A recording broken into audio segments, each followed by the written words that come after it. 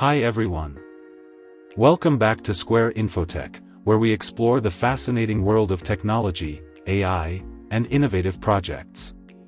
In today's video, I'm going to walk you through an exciting project I built using PhiData, a powerful platform for seamless integration of data workflows, and Groq Cloud, an advanced large language model, LLM, platform. We'll also be using Streamlit to create a dynamic user interface and analyzing data from a local CSV file containing IMDb movie data. Let's take a moment to understand the tools we're using for this project. PhiData is an incredible platform designed for building AI and data-driven workflows with minimal complexity. It allows you to integrate various tools like Python agents, file management systems, and data pipeline seamlessly, making it easier to focus on the functionality of your project. Now, let's talk about Groq Cloud. Groq is a cutting-edge LLM platform that provides a variety of powerful language models tailored for different use cases. In this project, I'm using their Llama 3.170b versatile model. This model is optimized for conversational AI, making it a perfect fit for creating an interactive chatbot experience. Combining PhiData and Groq Cloud gives us the perfect environment to build intelligent data-driven solutions. Here's what we've built, a Streamlit-based web app that allows users to interact with a CSV file containing IMDb movie data. Using PhiData's Python agent and Groq's LLM, the app processes user queries and responds intelligently with relevant information from the dataset.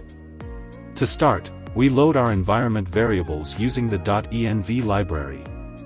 These variables include API keys and configurations required for Groq Cloud. We then create a temporary directory using Python's pathlib to store intermediate files for the agent. The dataset we're using is the IMDb movie data, which contains information about movies, such as titles, genres, directors, and IMDb ratings. We ensure the file exists in the project directory before proceeding. If the file is missing, the program raises an error to prevent runtime issues. The core of our project is the Python agent, powered by Groq Cloud.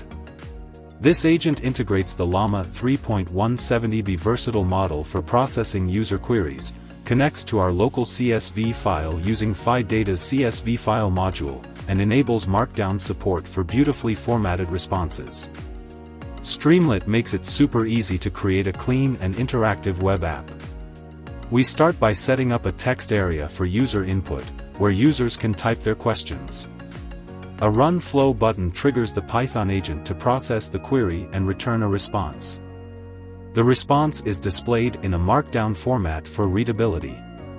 Finally, we use Streamlit's loading animation to show the user that the system is processing their query. Once the process is complete, the response from Groq's LLM is dynamically displayed on the screen. Let's see the app in action. Here's an example query, which movie has the highest revenue and how much? As you can see, the app responds with accurate and relevant information from the IMDb dataset.